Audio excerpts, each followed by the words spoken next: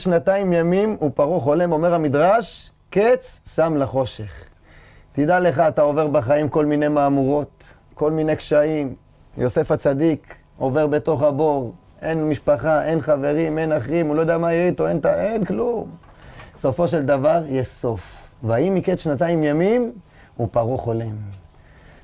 אם עכשיו באים לבן אדם ואומרים לו, תשמע, הניסיון הזה מבורא עולם, תבין, הוא רוצה להיטיב לך.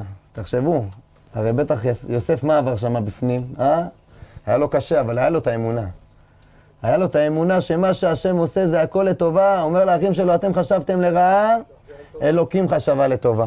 אתם חושבים שזה יהיה לכם רע, אתה חושב, אתם ניסיתם לעשות לי רע, זה לא הולך, זה לא אתם, קודם כל זה בורא עולם. ושבורא עולם עושה את הדברים זה הכי טוב שיש. לכן אנחנו מבינים שהכל זה ניסיון של בורא עולם. גם במצבים הכי קשים בחיים אנחנו נהיה תמיד מאושרים. גם שתראה פתאום מה, הפרנסה לא הולכת, לא הולכת, תראה, הבן אדם עובד, אתה אומר, יאללה, אני אעשה, אוסיף עוד עבודה, וטאק, הולך המנוע של האוטו. הוא אומר זה, פתאום אשתו רוצה לקנות בית חדש. אומרת לו, לא, כבר הבית הזה כבר על הפנים, בואו נעשה שיפוץ, בואו נחליף את כל הקרמיקה פה כבר ישן, ישן, יאללה, הוא אומר, תראה כמה עבדתי, כמה זה. אתה מאמין שאשתך הזאת מהשמיים לטובתך 40 יום לפני יצירת עוולת בת פלוני לפלוני? היא הכי טובה בשבילך בעולם. אין לך יותר טוב מזה, ודווקא זה שהיא כן, לפעמים קצת לא בראש שלך. כי אם היא בראש שלך, איך תתמודד? איך תגדל? ממאיפה? במכון כושר, אתם יודעים, המאמן מה עושה? הוא נותן לבן אדם להרים את המשקולת, ובסוף, שהוא כבר עושה, מתחיל להתעייף, הוא אומר לו, פה תיתן עכשיו עוד שלוש, עוד שלוש. אה, אה, אה, פו, זהו. לא יכול. הוא אומר, עכשיו, הזה, מה שאתה מתאמץ, זה מפתח את השריר. דווקא כשאתה עובר קשיים בחיים ואתה בכל זאת, אתה אומר, תשמע, השם, אני יודע שאתה עכשיו מפתח לי את השריר. אני יודע שעכשיו אתה מאמן אותי, נתת לי אישה, נתת לי איזה ניסיון פה עם הפרנסה, אבל אני יודע שאני דווקא בקושי הזה אני גודל. מהקושי הזה אני עובד על המידות שלי. אני יודע לא לענות גם כשצועקים עליי, גם כשאני צודק. כי מה אם אני אענה, יצא לי מזה משהו, אני ארוויח. תדעו לכם, כל ויכוח עם האישה, אני בוחר אם להיות קרוב או להיות צודק. יכול להיות שאני צודק, נכון? אני יכול עכשיו לענות לה. יכול להגיד לה, תשמעי, מה פתאום, זה ככה, ואני מביא לה גם הוכחות וראיות, וגם השם ירד מהשמיים, יסכים איתי. אבל אישה לא רוצה לדעת שהיא, שאת, שאתה צודק, היא רוצה שתסכים איתה, זהו, שתבין אותה. ברגע שאתה אומר לה, תשמעי, אשתי, אין בעיה, אני לוקח אחריות על העניין הזה, ואני בעזרת השם לאבא לא אעשה את זה. אני בעזרת השם מבין את המסר. אתה יודע מה קרה? עכשיו התקרבת. התקרבת, אשתך תגיד, בואנה איזה בעל יש לי, אללה, יודעת שהיא לא צודקת, הרי יודעת. אבל עכשיו יש לה איזה טעינה ממשהו קודם שהיה לה, היא טעונה עליך מאיזה משהו אחר. שהיא ראה שלאימא שלך אתה הלכת יומיים, שלוש, ארבע, כל הזמן דאגת לה, ולה... לא אכפת לך. עכשיו אתה בתור טוב, כאילו, אתה לא יודע, תשמע, גבר זה גבר, הוא לא מבין, כאילו, הוא לא קולט שיש פה איזה מישהו מסתכל עליו מאחורה, מה הוא יעשה, ולמה פה, למה עם החברים שלו, כשהוא יוצא הוא מבסוט, מהתורה הוא חוזר מהשיעור, איזה כיף היה. כשהוא יצא איתי לאירוע הוא כזה כולו מסכן, חוזר הבית כזה, כאילו מה, ומה זה הארגונים האלה עד שאת מתארגנת, כמה זמן לוקח לך, וכמה זה, ופה ושם. והוא בכולל שלו בכיף. האישה צריכה להרגיש שהיא מקום ראשון מעל כולם. לא היה לא תורה ולא השם כביכול. אין מעליה. ואז היא תיתן לך ללמוד תורה, להיות עם השם, להתפלל, לזכות את הרבים, לעשות מה שאתה רוצה. אבל ברגע שהאישה תגיד, תגיד לה, לא, זה ביטול תורה, מה אני אעזור לך עכשיו, מה זה זה, את מפריעה לי, זה אימא שלי, זה כיבוד הורים, אבא שלי הוא ניצול שואה, את יודעת מה זה, כאילו, מה? ברגע שתגיד לה דבר כזה, זהו, התרחקת. עכשיו אתה צריך להוכיח לה, ואז זה נותן לה לבוא ולתת טענות ומענות שלא היו בכלל. כי היא רוצה מפה, ככה כותב החזון איש. עיני אישה נשואות לבעלה, שהיא רוצה להרגיש שיש לה גבר שאוהב אותה. האישה חייבת להרגיש, שמע, בעלי אוהב אותי. אם היא לא מרגישה ככה, הוא אומר, היא כמו אלמנה חיה. כמו אלמנה מסכנה, היא מרגישה כאילו מישהו שיש לה, שאין לה כלום בחיים. ואז מה קורה לה? דכדוכים בנפש, דכדוכים בזה, וזהו, ונגמר הסיפור. אבל תדעו לכם, גם זה זה מבורא עולם. גם זה, אני אומר שהאישה צריכה תמיד להסביר לבעלה מה היא רוצה. תגידי לו, ברחל בתך הקטנה, אל תנסי שהוא יבין לבד. גבר לא מבין, זהו. את רוצה שהוא יבין לבד את הדברים, שהוא, מה, איך אתה לא מגדיל את הראש, מה, אתה לא קולט? לא קולט, תנסי להסביר לו, תעזרי לו. תעזרי לו, מה קרה? לא לבוא עליו ככה, לצאת עליו, מסכן הבן אדם. תעזרי לו מה את רוצה, תפרטי לו. תעשי לו, איך אומרים? פירוט חשבון. אבל להבין שזה הגבר הכי טוב בעולם, וזו האישה הכי טובה בעולם. לא, היום מסכנים אנשים, כל יומיים מפרקים את הבית. מה קרה? הייתה איזו אישה מבוגרת. אמרו לה, איך החזקת ככה? הייתה נשואה עם בעלה באושר, גיל 70, 80. אמרו לה, איך ככה החזקת? אמרה, תקשיב טוב, אני זוכרת שהיינו צעירים, היה מתקלקל המקרר, אתם יודעים מה היו עושים? באים ואם טכנאים מתקנים אותו. לא היו זורקים אותו. היום מה קורה? מתקל... מתקלקל המקרר, המכונת כביסה, יותר זול לקנות חדש מאשר לתקן, אז אתה כבר קונה חדש. היא אומרת אותו דבר, אני הבנתי שאם יש לי בעיות עם בעלי, אני אתקן אותם, אני לא אזרוק. אני אנסה לעבוד על עצמי, הוא ינסה לעבוד על עצמו, באים ביחד, מסדרים את העניינים, הולכים לרב, לשאול אותו מה עושים, ללמוד את זה. אז לכן אני חי איתו עד היום באושר. אבל פעם, היום מה עושים? כל דבר רוצים חדש, זורקים, עזוב, הוא חושב שיהיה, מחכים לו עשר נשים למטה כבר, הוא רק יעזוב אותה, כבר זהו, על גג העולם, היא חושבת שזהו, יתקבל גבר, מה זה, יבינו, אין, תדעו לכם, הצער נגזר מהשמיים, לא יעזור כלום, מה שנקצב לאדם צער, אז השם נותן לך את זה בבית עם אשתך, נותן לך את זה בבית עם בעלך, תגידי תודה. מה עדיף ברחוב? בבית הכנסת? ליד כולם בעבודה יצעקו עלייך?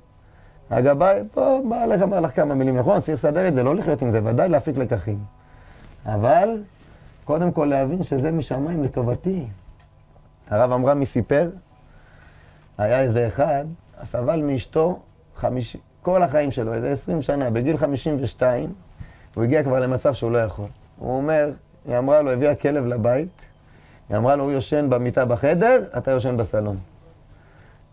אמר, מה? עד איפה הגענו? כזה דבר? זה אני מגרש אותה, נגמר הסיפור. עד היום סבלתי, אין בעיה, אבל להגיע לדבר כזה, זה אני מטיס אותה עכשיו על טיל, הלך, גירש אותה. הוא אומר, אחרי כמה זמן, גילו לו שיש לו בעיות בכליות, הוא נולד עם כליה אחת. עד אותו יום שהוא סבל את הצער מאשתו, הוא לא הרגיש את זה. השם אמר, אתה עובר את הצער הזה מאשתך, אתה לא צריך לעשות דיאליזות. אבל הוא אומר, אותו רגע שגירשתי אותה, כל שבוע שלוש פעמים דיאליזה מחובר למכונות שם ארבע שעות. הוא אומר, כאבי תופת. ואז הוא אומר, האישה שהייתה לי, הדברים האלה זה ממתקים. ממתקים ליד מה שאני עובר. אם כל בן אדם יבין, תקשיב טוב, הצער שנגזר עליך זה מדוד מהשם. זה לטובתך. זה משמיים בהשגחה פרטית מדוקדקת ומדויקת, אתה ביקשת מבורא עולם את המסלול. ודווקא מתוך החושך בא האור. אז אתה תראה שיש בסוף קץ שם לחושך. תדעו לכם, שואל האור החיים הקדוש, איך יוסף ניזק? לכאורה, שאבא שלו שלח אותו לראות מה עם האחים. זה שלוחי מצווה, נכון? הוא עושה כיבוד הורים. שלוחי מצווה אינם ניזוקים. איך הוא ניזוק? מה תגיד לי, שכיח חזקה? זה לא שכיח חזקה, הוא אומר, למה? כי יכול להיות שהאחים, הוא לא האמין. הם לא שונאים אותו בדרגה כזאת, שוודאי יהרגו אותו. או, זה תירוץ השני, יפה. אבל התירוץ הראשון הוא אומר, נזק שתכליתו הטבה לא נקרא נזק. הוא אומר, מה זה נזק? אם הנזק הזה, תדע לך, זה בתכליתו, זה בסוף, זה בשביל לעשות אותו מלך על העולם. מלך על מצרים, הוא המשביר, אז זה לא נקרא נזק. אם אנחנו נבין שכל נזק שיש לנו זה מהשם, והוא תכלית הטוב, אז כל נזק, התכלית שלו מה זה? זה הטבה, זה רק נראה לנו נזק. אבל באמת, זה הכי טוב בעולם. אז מה קורה? זה בכלל לא נקרא נזק. אז אתה חי בחיים שאתה לא חי, אתה לא תרגיש את הנזק. וזה ככה יוסף שורד. לכן יוסף יכול להגיד לאחים שלו, תקשיבו טוב, לא עשיתם לי כלום. זה הכל השם. והוא יחיה גם בבור, עם עכברים, עם הנחשים, לא משנה, עם עקרבים, עם הכל. והוא תמיד ישיר ויהיה שמח. ויהי השם את יוסף, והאיש מצליח. איך השם היה עם יוסף? אין השכינה שורה אלא מתוך שמחה. אם השם היה איתו סימן שמה הוא היה? שמח. גם אצל פוטיפר, גם בכלא. וזה היסוד לחיים, רבותיי. לכן, אומר המהר"ל, שיוסף שלח לאבא שלו עשרה חמורים נוסעים מטוב מצרים, נכון? למה הוא שלח לו עשרה חמורים ניסו מטוב מצרים? אתם יודעים למה? הוא אומר לו, אבא, אבא הצדיק שלי, אתה בטח קצת כועס על האחים. היית, אני הייתי ילד שכל כך אהבת, עשית לי כתונת פסים, ככה 22 שנה אתה לא רואה אותי, אתה אומר בטח מה עשו לי האחים האלה. אבל תדע לך שאין לך מה לכעוס עליהם, אומר המהר"ל, כמו שחמור. איך הוא זז רק עם המושכות ימינה או שמאלה, נכון? הוא, הוא כפוף לבעל הבית, הוא לא עושה שום דבר מעצמו. אז ככה האחים האלה, כביכול הם כמו החמורים שהם כפופים לבעל הבית, שזה לא דבר, הם לא עשו לי כלום, זה הכל בורא עולם לטובתי. למה? נושאים מטוב מצרים. בשביל בסוף אני אגיע לטוב מצרים, להיות מלך על מצרים, מלך על כל העולם.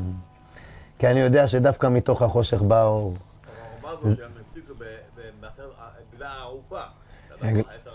או, גם עשר עגלות, למה? אומרים שזה עגלה ערופה שלא נודע מי הכהו. בעיקרון שהוא עסק איתו, שאני עדיין, אה, שאני עדיין יודע את התורה שלמדתי איתך, נכון? אבל אומרים גם בעלי המוסר, לכן שלח לו גם עגלה ערופה שלא נודע מי הכהו.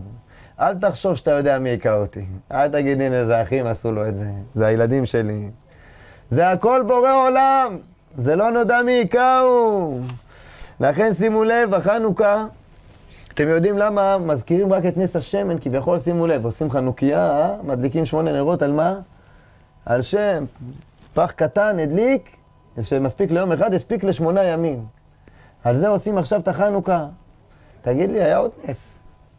13 אנשים ניצחו, מסעת גיבורים ביד חלשים, רבים ביד מעטים. למה לא שמים מעל החנוכיה איזה ככה, כמה בובות כאלה גדולות, שנראים כמו אבנים עם שרירים ככה מפותחים, אקדחים, ואיזה כמה חבר'ה צוציקים קטנים ממוליהם, ואתה יודע, מפילים אותם, איזה משהו, תעשה זכר גם לזה, לא? פרסום הנס. למה רק נס פח השמן? זה מה שהוא מוחבן, זה מה שהוא בצנעה, אז לא עושים את הנס. אה, יפה, זה עוד תירוץ. אבל אומרים בעלי המוסר, חתם סופר אומר, חתם סופר אומר, שבגיבורים ביד חלשים, אתה יכול להגיד, שמע, הוא למד קראטה, למד קונגפו, האלה, נכון הם היו קצת, אבל אתה יודע, אחרי הכל הוא היה יודע איך להביא לו את זה, איך לזה, היה לו, עשה משהו, גם השם עזר, נכון. אבל אחרי הכל הוא גם ידע, הוא לא פראייר, הבן אדם הזה אני מכיר אותו, הייתי במכון כושר, מתאמן כמה שנים. לא פראייר, יהודה מכבי, חבל לך על הזמן. כזה גדול. אבל בפח השמן, אתה יכול להגיד שמישהו עשה פה משהו, אה? ידע איך לעשות, מה יש, מה הדליקו, מה... הכל מבינים שזה רק בורא עולם. אומר בורא עולם, ברגע שאתה תבין שהכל זה רק אני, אני רוצה בחנוכה שתבין את המסר שזה רק אני עושה לך את הכל. אין פה לא עזרה, לא השתדלות, לא כלום. ודאי, חייב לעשות השתדלות, אבל הגזרה מוכרחת ולא מועילה. הגזרה אמת והחריצות שקר. וזה מה שרואים פה בפרשה. ויהי מקץ שנתיים ימים ופרעה חולה. אנשים חושבים, למה יוסף השתחרר מהבית סוהר? כי פרעה חלם חלום, והוא לא מוצא מישהו שיפתור אותו. אז מה קרה? אה, שר המשקים מאיימים עליו, כבר רואה שהולכים להרוג אותו, הוא התחיל לשחוט שם אנשים, אומר המדרש. מי שלא היה פותר לו, נכון, הוא מתחיל להוריד, אז הוא פחד שיגיעו אליו, אז הוא אומר לו, תשמע, שם איתנו נער עברי, עבד לשר הטבחים, נותן לו את זה בזלזול, אתה יודע, כזה, כפוי טובה, הרשעים האלה. איי, איי, איי, איי, איי. אז חושבים שבגלל זה עכשיו הלך ויצאו מן הבור, בגלל זה מה קרה? הוא השתחרר משם מהבית סוהר. אומרים בעלי המוסר זה לא נכון. אתם יודעים למה הוא השתחרר? הוא השתחרר מהבית סוהר כי הגיע הזמן, ויהי מקץ שנתיים ימים אומרת התורה, שנגמר השנתיים הימים שנוסף לו על זכרתני והזכרתני. אז פרעה חולם. לא בגלל שפרעה חולם, אז הוא יוצא מהכלא, כי הגיע הזמן של הישועה שלך, אז אתה עכשיו יוצא. אז השם עושה שפרעה יחלום. שיגיע הזמן של הישועה שהבת שלך תתחתן, אז השטחן יגיד לך, תדע לך, הנה מצאתי את השידוך. לא בגלל שהיית באירוע, בדיוק הוא ראה אותך, והיא ראתה אותו, אה, הנה, אז הנה, עכשיו סגרו אותה. לא, לא, לא. בגלל שהייתם צריכים להתחתן, אז הייתם באירוע. וגם להפך, גם לקושי לפעמים. לא בגלל שהוא עכשיו הלך שם למסיבה, אז קרה לו חס ושלום שהוא נהרג. לא, לא. נגזר עליו להיהרג בראש השנה, אז השם עשה איתו חסד שיהרג על קידוש השם. שזה יקרה לו. זה לא בגלל, אנשים חושבים שזה בגלל שהלכתי לפה, הנה עליתי על הכביש הזה, נתקעתי בפקק. הלכתי לסופר הזה, נתקעתי בתור. הנה, הילדה שלי עוד פעם עושה לי בלאגן, אם לא הייתי נותן לה את זה, זה לא היה קורה. לא. עליך נגזר שיהיה בלאגן, אז השם מביא לך את הילדה הזאת, ואת החבר ההוא שידבר איתו. עליך, זה, זה הכל משמיים, להבין שהכל זה בורא עולם. לכן בימים האלה של חנוכה זה ימים של להודות, להלל, לשבח, קבעו אותם להודות, להלל. מתי? בחושך, תדליק את האור, מתחת עשרה, אין שכינה שמה. משמאל לימין, שמאל דוחה שאתה מרגיד דחוי, בשקיעה, צאת הכוכבים, כבר הכל חשוך לגמרי. שם השם אומר לך, תדליק את האור, תבין שאני מסדר לך את החיים. לכן אני רוצה לספר לכם, בעזרת השם, בזמן של להודות ולהלל, אמרתי, אולי אני אשתף אתכם קצת ככה, נודה להשם שהביא אותי עד הלום. כי השם עשה לי הרבה ניסים בחיים שלי. וחלק מהניסים אולי אני אספר לכם ככה פה, קצת מה שהשתלשלנו. אז בעיקרון, נולדתי, ברוך השם, למשפחה חרדית. הנה אבא שלי פה, הוא יכול לספר לכם את זה. אתם יכולים לראות את זה. שמו אותי בתלמוד תורה, ישיבה קטנה. הנס הראשון התחיל אולי בגיל שלוש, אה? שנפלתי שם מקומה ראשונה על עמודים. נפלתי מהחלון, ונפלתי כמה סנטימטר, כמה זה היה שם? כמה סנטימטרים מחומה של הבניין. כמה סנטימטר, אני נופל על החומה ואולי כבר לא הייתי פה. אבל ברוך השם, השם שמר עליי, זה התחיל ככה שמה, וברוך השם נפלתי, לא קרה לי כלום. מקומה ראשונה לקחו אותי, בהתחלה שמו לי גבס על כל הגוף וזה, פחדו. אה, אה. ברוך השם, ראו בריא ושלם. סופו של דבר, אבל אני עברתי תלמוד תורה, ישיבה קטנה, עד ישיבה גדולה, שיעור ב' וחצי קצת, וזהו, משם יצאנו. את האמת שאני לא אהבתי ללמוד מגיל אפס. אתה זוכר אבא? לא אהבתי ללמוד. הייתי שם, למה הייתי כל החיים שלי בישיבה ובכל זה? כי כל האחים שלי התקלקלו. בעזרת השם, השם יחזיר אותם בתשובה שלמה, מאהבה, במהרה, את כל עם ישראל. ואני הייתי, אני הכי קטן בבית. אז אתה יודע, אני יודע שהעיניים של ההורים נשואות אלינו. אז אמרתי, תשמע, מה אני אעשה? אני מושך, מושך, בשביל לא לצייר אותם. עפים מהבית ספר, עפים מהישיבה, מדברים, רוצים להעיף אותי, אני מתחלק, עוד פעם, זה. אבל תמיד ניסיתי, לה, איך אומרים? לספוח על שתי הסעיפים. אי אפשר. רציתי להיות מצד אחד בישיבה, מצד שני לעשות שטויות. כשיוצאים מהישיבה, פתאום ללבוש ג'ינס, אחרי זה בחוץ, ופתאום לעשות זה, ולצאת לכל מיני מקומות שלא צריך לצאת. אז אי אפשר, אי אפשר. תורה, מה שבא לפני התורה זה קדושה. לפני התף בא קוף, נכון? קרש"ת. לפי התף בא השין. לפני הרש בא קוף. לפני התורה, לפני הה' בא ד', נכון? ולפני הו' בא ה', אותיות קדושה. בקיצור, אתה רוצה ללמוד תורה, אתה צריך להיות בקדושה. אי אפשר להיות מצד אחד בטומאה וללמוד תורה. זה מה שהיוונים רצו מה לעשות? תיקחו, תדליקו אותם נורא, אין בעיה, רק לטמות השמן. תדליקו שמן בטומאה, ואז הם יודעים שכבר אוטומטית הבן אדם ייפול. ואז, כמה אפשר לסחור? שיעור ב' וחצי, העיפו אותי מהישיבה, והלכתי לעבוד, הלכתי לעבוד בירקות. ואז אתה יודע, אז אתה מתחיל כבר יותר להתקלקל, ואז אתה כבר, אתה שם את הג'ינס בגלוי, כבר התפילות זה לא יורדות. ואז אתה הולך עם חבר'ה שעוד יותר, ועוד יותר, ועוד יותר, והכל נהיה כבר ככה. ורוצים כביכול לעשות חיים. ואז הגעתי למצב שכבר, אני זוכר בהתחלה בגיל 17, 18, שמעתי איזה רב מפחיד, שמע, קדושת ה... כאילו, אתה צריך להיות קדוש, עניינים, זרע לבטלה וכל זה. אמרתי, תשמע, אני מתחזק, לא... אומר, לא תינף, לא תענה אף, כאילו, אל תריח ריח אפילו של בושם של אישה. אמרתי, עזוב, אני מתחזק, לא עושה כלום. ויום אחד, אני זוכר, הלכתי ברוב עם חברים, אז הלכנו, uh, סתמתי את האף. אז אמרו לי, כאילו, מה קרה לך? מה, אתה השתגעת לגמרי? זה, זה החזיק לחודשיים. כשאתה חוזר מפחד, הגוף לא רגיל. כשאתה נותן לו הכל בבת אחת, אז אתה אומר, בואנה, כאילו, מה קרה פה? אימא ל... משנה את הכל. ואז אחרי זה זה נשכח, ואז זה יורד. ואז ככה, מגיל 18 עד גיל 24 וחצי הייתי עובד בירקות. בגיל 24 ככה כבר התחלתי, איך אומרים, מסיבות, עניינים, מסיבות טבע וכל מיני סוגים כאלה. ו... אבל את התפילין תמיד שמרתי. תפילין תמיד, לא, לא משנה מה, לא פספסתי, ברוך השם אני זוכר, כאילו, אולי פעם אחת, לא, לא זוכר. אולי פעם אחת על ספק. אבל תמיד התפילין, אני אומר לכם, וזה מה שמר עליי. עשיתי הרבה שטויות בחיים. אני לא הייתי מאלה, שאתה יודע, שיוצאים ברחוב ועושים, אתה יודע, רק ה... יוצאים יציאות ונגמר.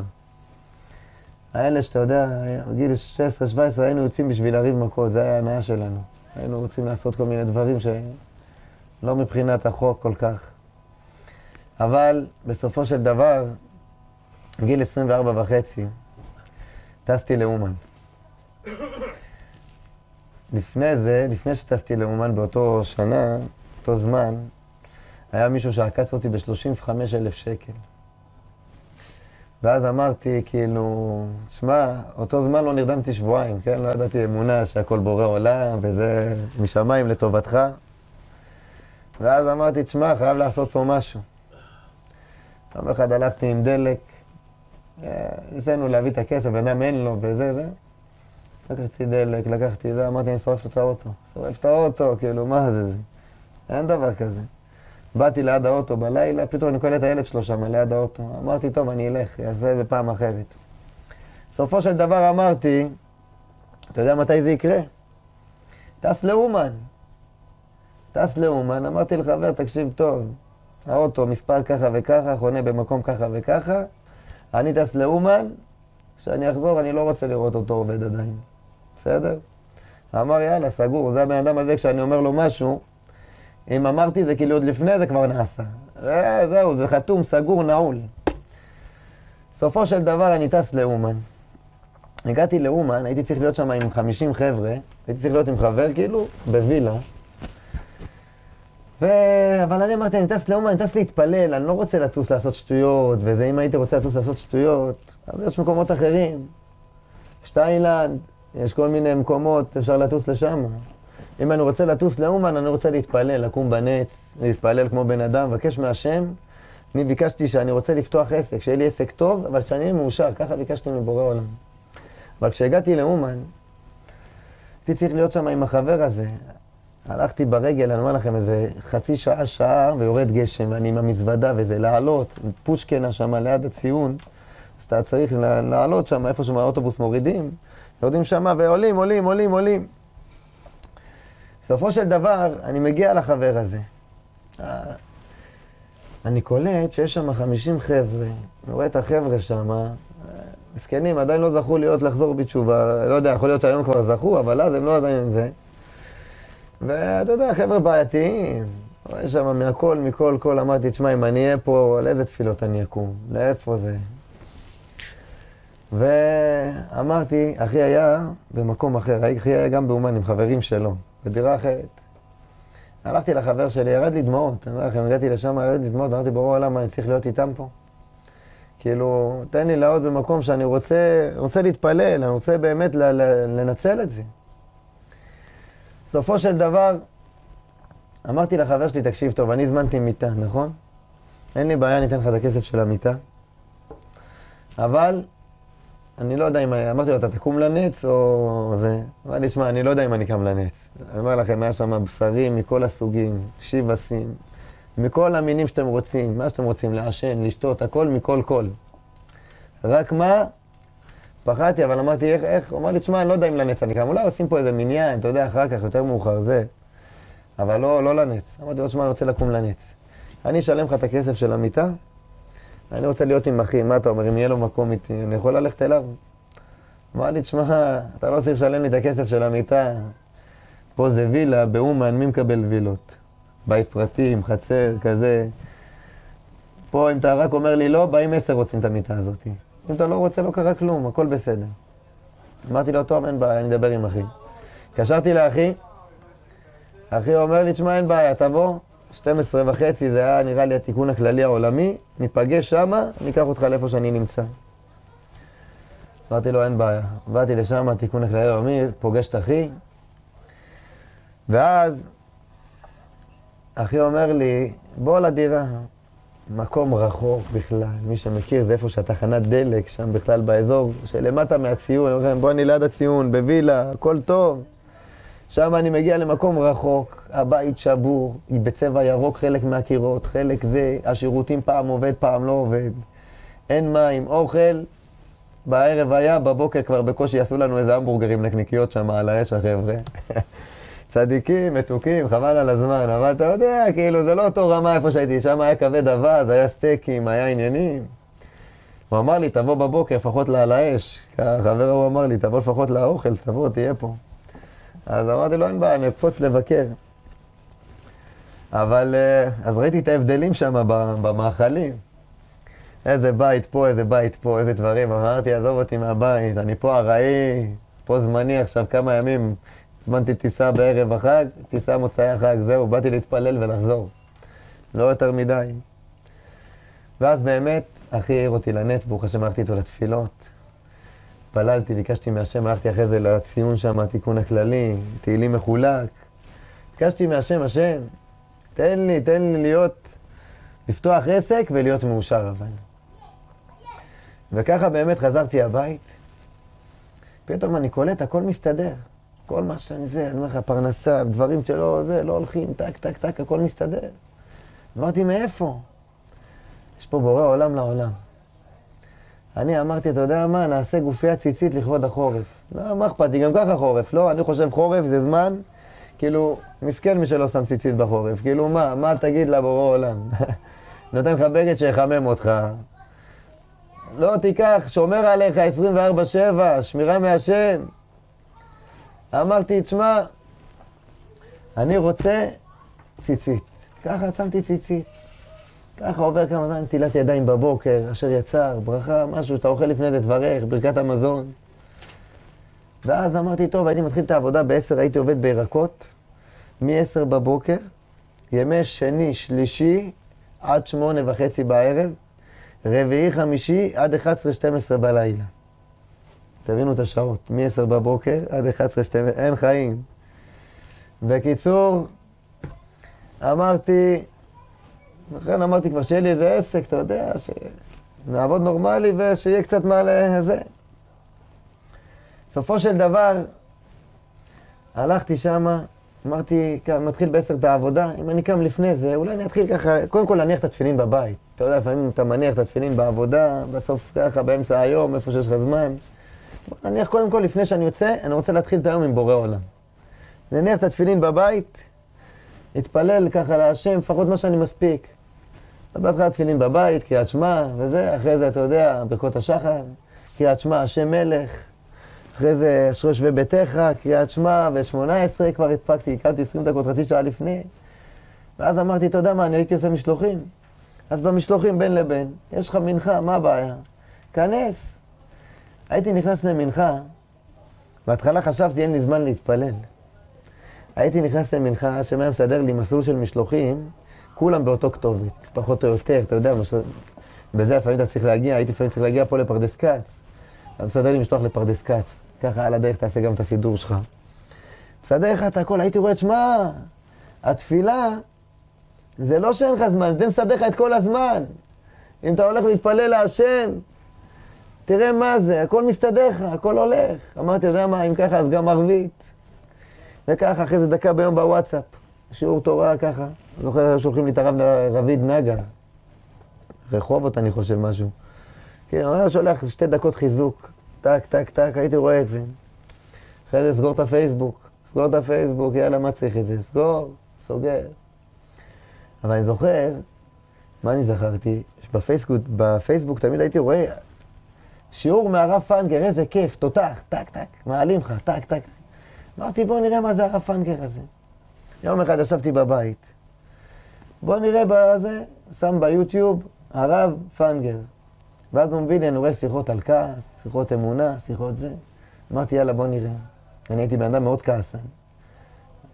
מאוד, כאילו, מה זה, מישהו היה עוקף אותי בכביש, כל הרכבים עכשיו תחכו. מי זה, מה אתה מסתכל, מה קרה, מה הבא? אני חושב מעצמי, כאילו, מי אני, מה אני, כולה גוש בשר, כאילו, מה אתה חושב מעצמך? מה אתה זה, בסוף אפילו לקבר לא הולכים, לוקחים אותך גם, כאילו, מה אתה מתלהב בגוש בשר? על מי אתה זה? אבל בסופו של דבר אמרתי, בוא, ראיתי את הרב פרנקר, אומר לך הכל מלמעלה, הכל לטובה, אף אחד לא יכול לעשות לך כלום. כאילו זה, אם עשו לך משהו, זה רק לטובתך, השם רוצה לגדל אותך. אמרתי, יאו, ערדי. ההוא עקץ אותי, 35, והוא בינתיים לא אמרתי לו כלום. אה, דרך אגב, חזרתי מאומן, ההוא אומר לי, תשמע, חיפשתי את האוטו בבית שלו, אין. בכל בני ברק חיפשתי, אין, לא מוצא את הבן אדם, לא מוצא את האוטו שלו. לא הצלחתי. אמרתי, יאללה, לא נורא, כל מי ש... אז עוד לא ידעתי, אבל אחרי שראיתי את זה, אמרתי, תודה לבורא עולם, שהוא לא הזיק לו. גם אחרי זה הייתי צריך גם לשלם לו את זה, לך תראה, אתה מבין? אז אמרתי, אחרי זה, כבר אמרתי לבן אדם ההוא, שראיתי את זה שהכל מלמעלה והכל לטובה וזה, אמרתי לו, תשמע, הוא לא עשה לי כלום. עזוב, אל תעשה את זה, נגמר, אני כאילו אומר לך, אל תעשה. בסדר, אתה לא רוצה, לא נעשה. ואז, ככה המשכתי, ואז ראיתי אמונה, אמונה, אמונה. יום אחד אמרתי לבוא, ואז אמרו לי, יש איזה דף היום מאחרי העבודה של חצי שעה וזה, חבר, כאילו מישהו מהעבודה אמר לי, בוא תראה, הייתי מוריד אותו בבית, יושב בדף היום מחצי שעה, לפחות שלישי, רביעי, אה, שלישי, שני, ואז רביעי, חמישי זה כבר יותר מאוחר, לא הייתי מספיק. טק, טק, ככה הייתי הולך שם, דף היום יושב. ואז ככה כל פעם מעלה, ואחרי זה תפילה במניין בתשע, ואז בעשר אני מתחיל את העבודה, תשע, יש טיבלח ליד העבודה, הייתי קם לפני. מתפלל, אחרי זה כבר שלוש תפילות במניין, בקיצור, מגיע לשיעור תורה של כבר, של שעה ורבע. בשיכוני, אתם מכירים, הרב אה, קדוש. הייתי לומד שם אצל הרב נידם, יש לו שם זה. הוא היה מוסר לנו שם את השיעור, והייתי יושב שם בשיעור שעה ורבע. אבל מה היה? רק שני ושלישי אני יכול, כי השיעור מתחיל ברבע לתשע עד עשר. עכשיו מה קורה? רביעי, חמישי, אין. אין לי שיעור, אני לא יכול. אז הלכתי לזה, לבוס שלי, אמרתי לו, תשמע, אני רוצה כבר כל יום, אני אומר לו, זה דף היומי, אז כל יום לומדים דף. ואם אני לא מגיע יום אחד, אז סתם אני אחרי זה מחסר. צריך להתחיל מהאמצע, צריך פה, לפעמים זה כן בעיה. אני רוצה כל יום ללכת, אני רוצה להוסיף, מוסיף והולך, אה, חנוכה, מוסיף והולך. אני רוצה כל יום ללכת. מה אתה אומר? אתה מסכים לי או לא? הוא אמר לי, תשמע, אבל מה אני אעשה? אני אביא מישהו משמונה וחצי עד 11, 12, לשלוש, ארבע שעות. אמרתי לו, תקשיב, אתה יודע מה? אני בשביל התורה, אני מוכן לעבוד עד ארבע, תביא מישהו לשבע שעות, שמונה שעות. אתה מבין? הוא אומר לי, טוב, אין לי כרגע מישהו, זה היה חודשיים לפני פסח. שימו לב, זה כל התהליך הזה קורה משאני חוזר מראש השנה עד חודשיים לפני פסח. אני כבר רוצה שיעור כל יום, שלוש תפילות במניין כבר. והכל לאט לאט, צעד אחר צעד, צעד אחר צעד, השם כאילו מוליך אותי, זה משהו לא יאומן. אבל מה העיקר? אני התחלתי עם האמונה שהכל מבורא עולם לטובה. עשו לי בדרך, אחרי זה עוד מישהו רצה לקחת לי איזה עשר אלף שקל, משהו ששווה עשר אלף שקל. באתי הבית, לא התעצבנתי עליו. לא רק שלא התעצבנתי עליו, לא דיברתי איתו על זה, כאילו הוא חושב שאני לא יודע מזה בכלל. הוא לקח איזה משהו שהיה לי בבית ונעלם. אמרתי, אני לא מדבר כלום. הזמנתי מרק מצנני, מרק בשר, נוגע עם לאפה, מרק תימני כזה. אמרתי לו, תביא שתיים, אחד לי, אחד לא. ככה בצהריים, באנו, אכלנו, אני אמרתי לו, אני הולך להתפלל מנחה. לא מדבר איתו כלום. אני חוזר אחרי מנחה, אני קולט את העשר אלף האלה שם מונחים במקום חזרה. הוא אומר לי, נכון, לא שמת לב שלקחתי לך אותם? הוא היה כאילו עצבני עליי איזה קטע, איזה משהו. אמר לי, נכון, אתה לא שמת לב שלקחתי לו? אמרתי לו, שמתי לב שלקחת, אבל זה לא אתה לקחת, זה בורא עולם לקח, ואם זה שלי, אתה לא יכול לקחת. ואם זה לא שלי, אז זה לא יעזור כלום. אז הוא לא הבין, איך קנית לי כאילו מרק בשר? אתה, אני לוקח לך כזה דבר, אתה עוד קונה לי דברים, אוכל. אמרתי לו, זה רק בורא עולם. אם זה היה פעם, לפני שהייתי בדת האמונה, הייתי צריך לריב איתו, ולעשה, ופלאגן, ו... תראה מה זה, הדרך שאתה מבין שבורא עולם, אתה לא מבין שזה הכל ממנו, אז אתה חי בכיף, אתה עוד קונה לו. סופו של דבר, שימו לב, אני עם התמימות, עם האמונה, עם הזה, מה שבורא עולם עושה, הכל לטובה, זה, זה, זה, זה. ואז אני אומר לבוס, אני רוצה ללמוד כל יום, אני רוצה כל יום ללכת לשיעור תורה. אבל הוא אומר לי, תקשיב, אני לא מוצא מישהו, זה היה חודשיים לפני פסח. חודשיים לפני פסח, אמרתי לו, תקשיב טוב, אני עד פסח אעבוד ככה. אין בעיה. אבל אחרי פסח, אין דבר כזה. כל יום אני הולך לשיעור תורה. מבחינתי תעבוד עד ארבע, אם זה מתאים לך, מתאים לך, לא מתאים לך, לא קרה כלום. עכשיו תבינו טוב, שליח של ירקות, אף אחד לא מפטר אותו. מי רוצה לעבוד? זה שליח בבני ברק, זה לעלות ארגזים קומה שלישית, רביעית. אני בהתחלה שהחבר אמר לי בוא תעבוד בירקות, חשבתי, אתה יודע, מה קונים ירקות? שתי שקיות, נגמר. הם עובדים עם ויז'ניץ, עם חסידים, אתה קונה ארבע ארגזים קונים לך. מה זה? שקים של תפוחי אדמה. ולפני פסח, וואי, וואי, וואי. היה לי טנדר גדול, יונדאי H1, אם אתם יודעים מה זה. בקיצור, זה אוטו כזה, חצי משאית. בפסח הייתי מעמיס את כולו ככה עד למעלה גובה, יוצא עם משלוחים, עם עוד שתיים, שלוש איתי באוטו. הייתי מגיע הבית שלוש לפנות בוקר, ארבע לפנות בוקר. הייתי מרגיש מה זה יציאת מצרים אמיתית. הייתי מגיע עם גף ז'בור. אין, אין כוח לכלום. הייתי מרגיש בן חורין ממש, כאילו יצאתי ממצרים. אבל שימו לב, חודשיים לפני פסח זה קורה. אז הוא אמר לי, אין בעיה. ואז מגיע הרגע הגדול, שבועיים לפני פסח. נעצרתי. נעצרתי על איזה משהו, לא משנה, אפשר לפרט. תיק שסוחבים אותו בדרך כלל, אה, חודש בהתחלה ככה במעצר באבו כביר. אחרי זה, ב...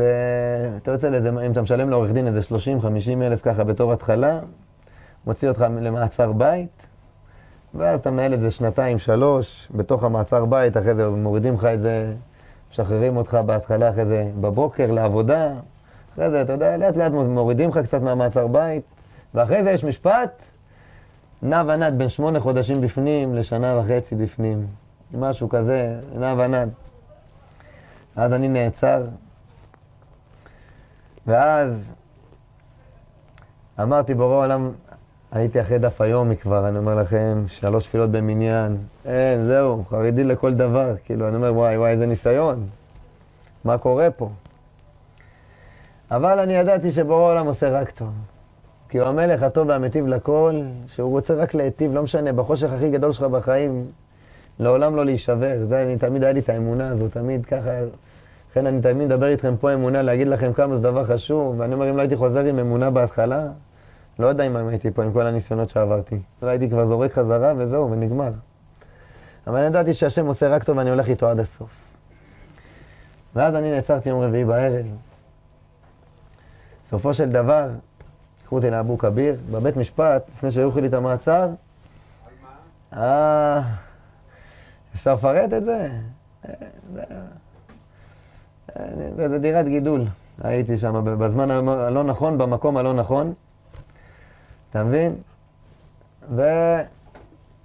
ויצרתי שמה שש קילו. שש קילו. מה תעשה עכשיו על זה? אה? ואז, זה היה יום רביעי בלילה, שתיים בלילה.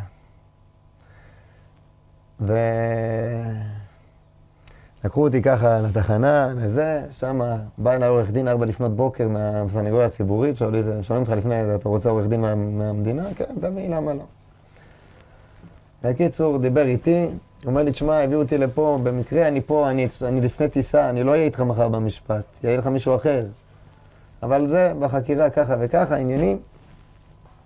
בסופו של דבר לוקחים אותי לבית משפט, ושם בבית משפט, אני מכיר איזה מישהו שם שנעצר, אחד תימני כזה, בחור, גם כן בחור טוב, נשוי. אומר לי, אני פה על כלום. אומרים שאני הרבצתי מכות, יש לי מצלמות שהייתי בבית. זה שקר, בגלל שאני, יש לי עבר וזה. מישהו כנראה הרביץ מכות, אמר את השם שלו. זה אני ככה וככה, דבר איתי אחר כך. ההוא הלך, אמר למשטרה, הנה, הוא ככה וככה הרביץ לי, הוא אמר את השם שלו. הוא בכלל יש לו מצלמות שהוא בבית, יושב בבית בזמן הזה. בקיצור, הוא אומר לי, תשמע, אני אביא לך סיגריות, תעשן, מה שאתה רוצה, אני איתך, קח סיגריה חופשי, זה, זה, זה. אני לא הייתי מעשן כל כך הרבה, אז לא היה עליי סיגריות. ובסופו של דבר עולה למשפט. השופטת אומרת, מה קורה? אין משהו בחקירה, שיהיה התקדמות בחקירה. בסדר, הארכת מעצר עד יום ראשון.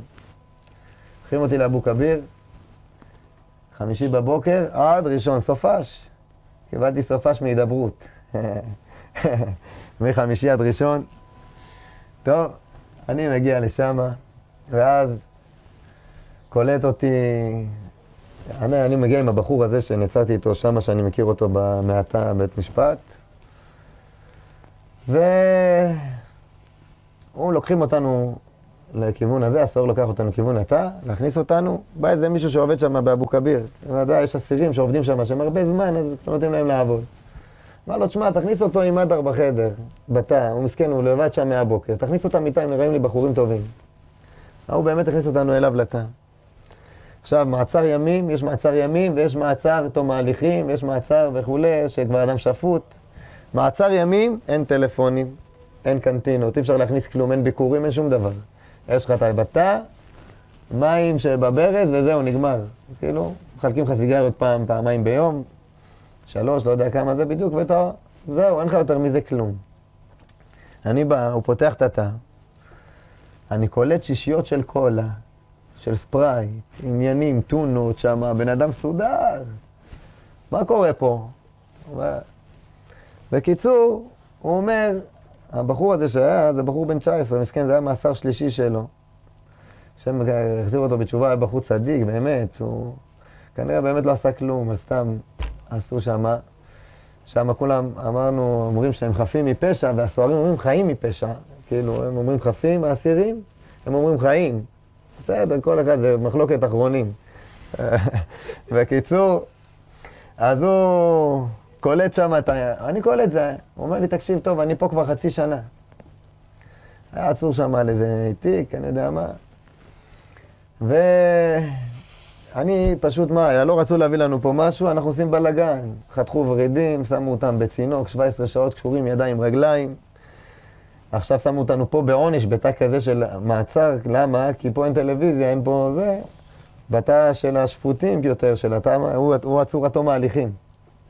אז שם יש טלוויזיות, אנחנו עכשיו בעונש פה.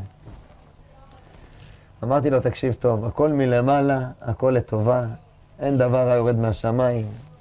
אספר לך סיפור, מהמלך והאצבע, אני רוצה לספר אותו, אספר לכם אותו עוד הפעם, אולי מישהו פה לא שמע. אמרתי לו, ככה באתי עם הסיפור הזה, זה היה לי בראש, תמיד. היה איזה מלך שאוהב לצוד ביער, והיה לו חבר יהודי שאומר תמיד, הכל מלמעלה, הכל לטובה. יום אחד המלך יוצא לצוד עם היהודי הזה ביער, ואז היהודי לוקח את האקדח, הוא רוצה לראות על איזה חיה, בא לצוד אותה בטעות, ירה לו על האצבע, למלך, הוריד לו את האצבע. הוא אומר למלך, הכל מלמעלה, הכל לטובה. המלך אומר לו, מה למעלה, מה טובה, אדוני, אין לי אצבע. לך שנתיים לכלא, הכל מלמעלה, הכל לטובה. שם אותו בכלא. אחרי שנה המלך מתגעגע לצוד. הוא אומר, החבר שלי בכלא, אני הולך לבד. עולה על הסוס, יוצא ליער. פתאום קולטים אותו חבורת קניבלים עם אקדחים. אומרים לו, אדוני המלך, רד מהסוס, יש לנו פה ארוחת מלכים לצהריים. באים לשים אותו על המנגל, מה קורה? רואים אין לו אצבע, בעל מום, לא אוכלים, הם מפונקים, הקניבלים רוצים, אתה יודע, הצמחונים שם אוכלים את הפטריות של הרגליים, והם רוצים שלם גם, שלא יהיה איזה. בקיצור, לך הביתה מהר, ואל תחזור לפה, שלא נראה אותך פה עוד הפעם. הוא אומר, בואנה, חבר שלי צדק, הכל מלמעלה, הכל לטובה. סופו של דבר, הוא הולך לחבר שלו לכלא, אומר לו, תשמע, צדקת, הכל מלמעלה, הכל לטובה. אבל אני רוצה לשאול אותך שאלה. אתה פה שנה בכלא, מה יצא לך מזה? מה הרווחת? אמר לו, אם אני לא הייתי בכלא, אני הייתי בא איתך לצוד ביער, ולי יש אצבע. אז אותי הם היו אוכלים. אז גם בן אדם שעובר תקופה שהוא בכלא, אני אומר ככה לאותו אחד. תבין שאם היינו בחוץ, מה היה קורה לנו עכשיו? השם שם אותנו פה בשביל, איך תדע מה היה קורה, זה הכל משמיים לטובה. וככה, הוא אומר לי, תשמע, איזה חידוש יפה, איזה יופי, תשמע. תגיד לי חידושים, תגיד לי עוד. אני מתחיל ככה להגיד לו חידושים שמה, וזה, אמונה. הוא אומר לי, תשמע, אני אתן לך מה שאתה רוצה. אני, יש לי קנטינות הרי. יש לו קנטינות, אז הוא בתא יש לו את הטונות ואת השישיות של הקולה וכל הזה. אני אתן לך גם להתקשר לטלפון להורים שלך. עוד מעט נצא לחצר, יהיה לנו פה הפסקה, מה זה חצר? אתה נמצא בתוך מבנה, זה כאילו חצר. זה כאילו אתה יוצא מהתא למקום יותר גדול. ושם יש טלפון ציבורי, רק מי שיש לו קנטינות, יש לו טלקרטים, עניינים, אפשר להכניס לו דברים, אז הוא יכול להתקשר. אז הוא היה לו עוד מספר, גוביינה, אני לא יודע איך זה נקרא אז בזמנו, היה לו איזה משהו שהוא מקיש, ואז הוא יכול להתקשר, אמר לי, קח תתקשר להורים שלך. התקשרתי, אמא, מה קורה, מה נשמע? הכל בסדר, ברוך השם, עכשיו שבועיים לפני פסח. כאילו, אני אומר, תשמע, בורא עולם, אתה רוצה שאני אהיה פה פסח? לך תדע איזה מצות יביאו לי. שמורות, לא שמורות, שבורות. אתה, מה ש... אבל זה מה שאתה רוצה, אני אעשה ככה. אני הייתי פשוט ככה, הולך, לוקח תפילין משם, מתפלל, עומד ככה לבד, מתפלל מעצמי ביחיד. אמרתי אתה רוצה שאני אתפלל ביחיד? אני אתפלל ביחיד, אני יודע שאתה שם אותי פה, זה רק לטובה. ככה התקשרתי לאמא שלי, אמרתי לי, אבל מה, אתה בסדר? אמרתי לה, הכל בסדר. מתי תצא? מתי שהשם יחליט. כל זמן שאני פה, אל תדאגי, הכל בסדר, מצוין פה, מצוין. אז ככה נכנסו לתא עוד כמה חבר'ה, כל פעם מתווספים. ובסופו של דבר, מגיע שבת, ערב שבת. החברים של הבחור הזה, שם יש להם כל מיני פינוקים, מכינים דגים מטונות וכל מיני עם רוטב וזה. מפנקים אותו והוא ככה מביא לנו לשם, עשינו קידוש שבת, אמרתי להם, חבר'ה, השבת פה, כולם שומרים. שמרו שבת, מי ששומר את השבת, שבת שומרת אותו. בואו נשמור את השבת.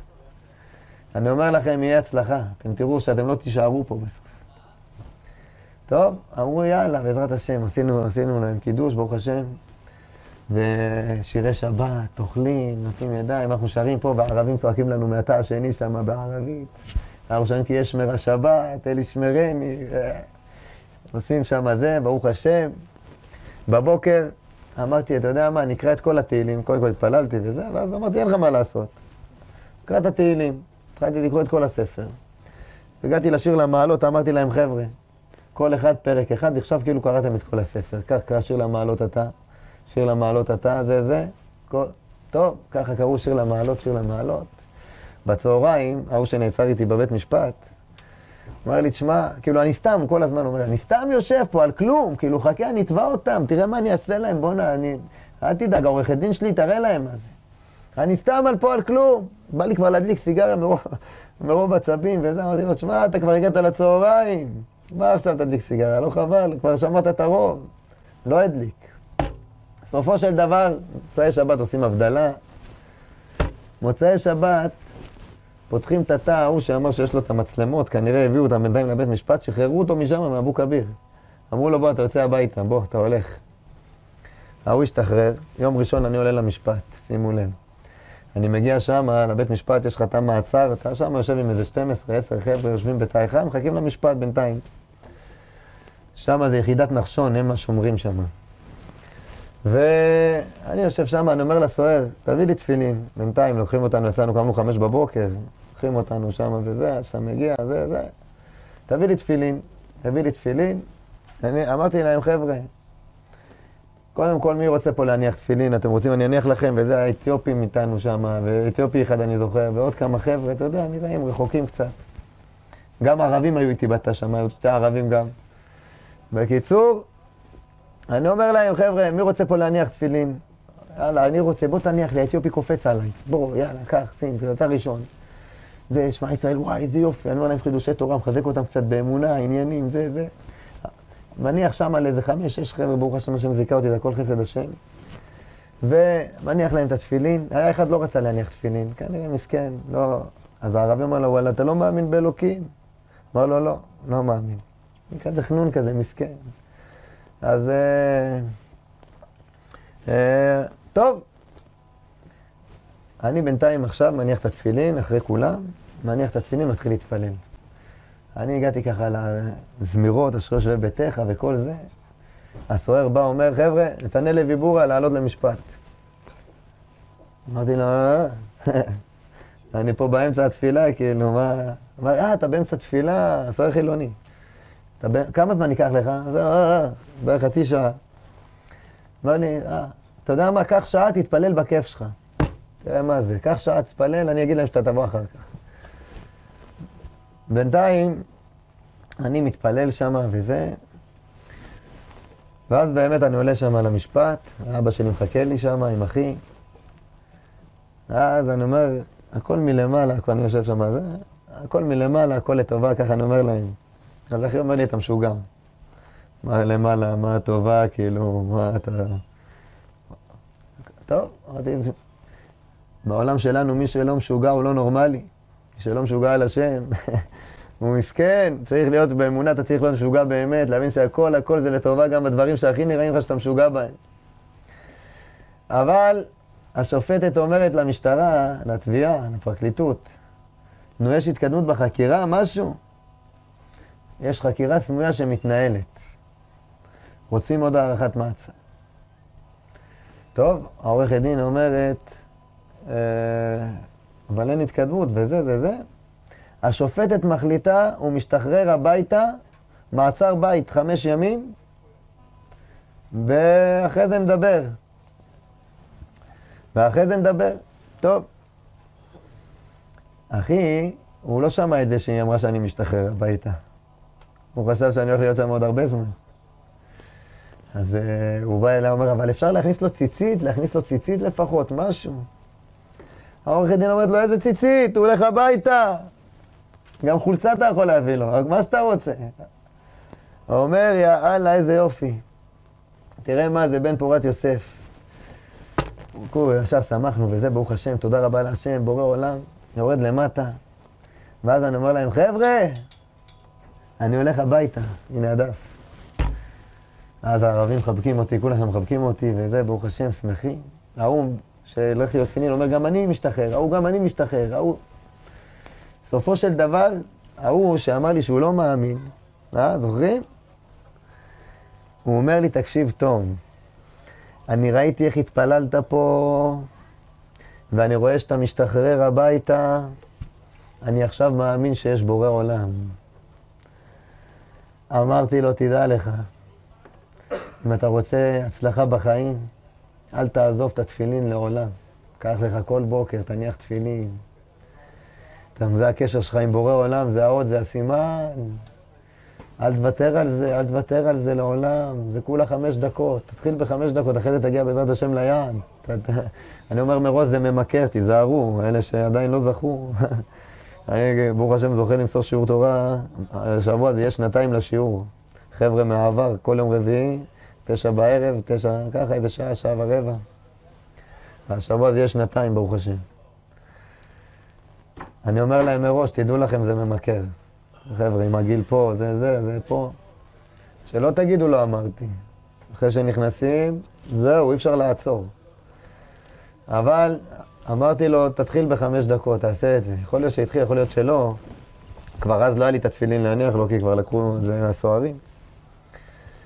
ואז בסופו של דבר, משם אני יוצא הביתה. ההוא, שהיה שם שהביא את כל הקולה וטונה, שם שורפים טונה, אם אתם יודעים, אם אתם רוצים טונה טעימה, אני אלמד אתכם משהו ש... לוקחים נייר טישו על השמן, שמים, שורפים את זה, מדליקים את זה, זה נהיה לך כמו טעם של פרגית, כזה טונה על האש. מעושן, מעושן, בדיוק. ככה, זה מה שאוכלים שם. ו... אה, מה היה?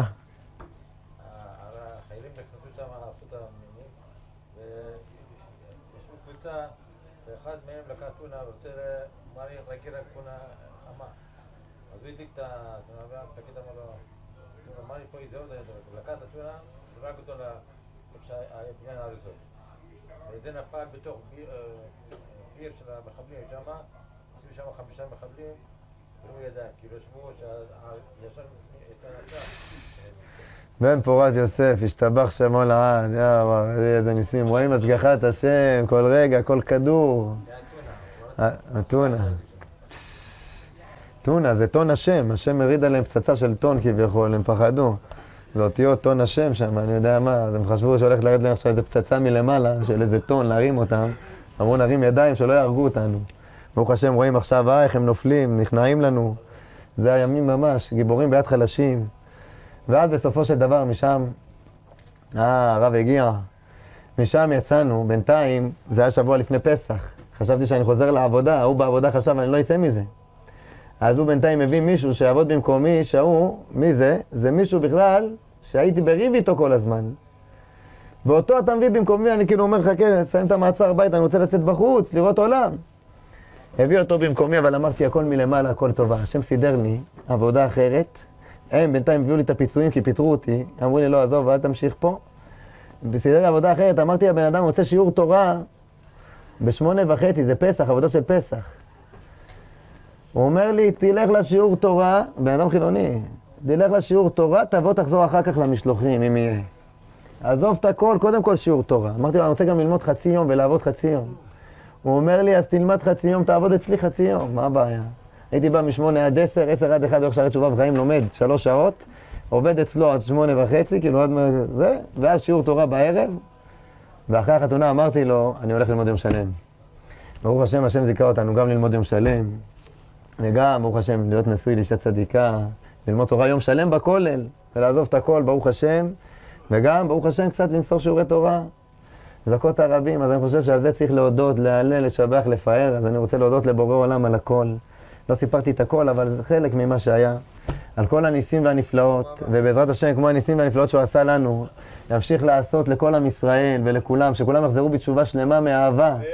שתמות הטעם, תאמורו כי טוב השם, ברגע שאתה טועם, אתה מבין כמה טוב השם אתה לא יכול לעזוב. ונזכה תמיד לגאולה השלמה בעזרת השם ברחמים, לעשות נחת רוח אמיתי לקדוש ברוך הוא, ותמיד שמח אותו. ולהבין שהכל משמיים לטובה, זה הימים האלה. בעזרת השם, נתחזק בזה, וככה בעזרת השם נזכה להיות שמחים ומאושרים ולעשות נחת רוח אמיתי לקדוש ברוך הוא, אמן ואמן.